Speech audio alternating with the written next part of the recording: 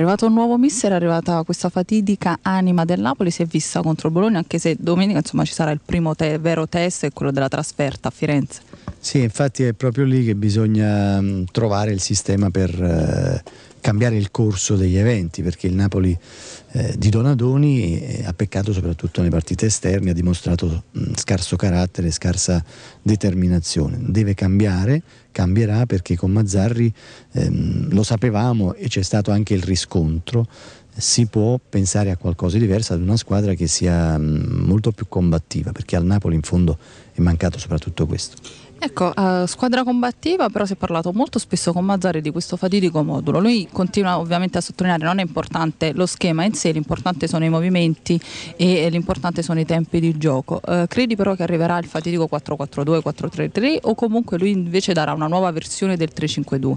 Io credo che eh, continuerà con il 3-5-2, però mh, nel caso può tramutarsi in un 3-4-3. Questo sì, perché lo ha già provato domenica.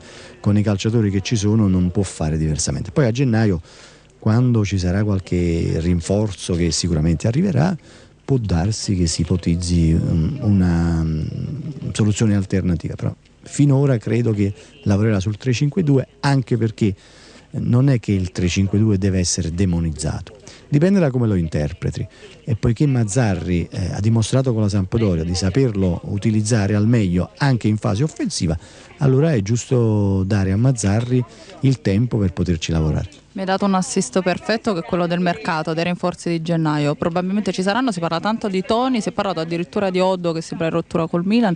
Nomi fattibili o sono insomma le solite voci? Io credo che si, si tratti di, di, di, voci per il momento, perché sui calciatori da prendere ci sarà una discussione da effettuare e, ehm, e soprattutto bisogna attendere l'arrivo del nuovo direttore generale.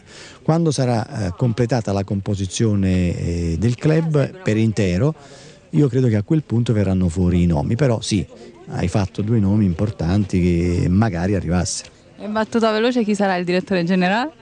Eh, bisogna chiederlo a De Laurentiis eh, quando deciderà di farcelo sapere, però per il momento eh, io credo che il Presidente abbia imboccato la strada giusta, quindi sa cosa fare e io sono fiducioso.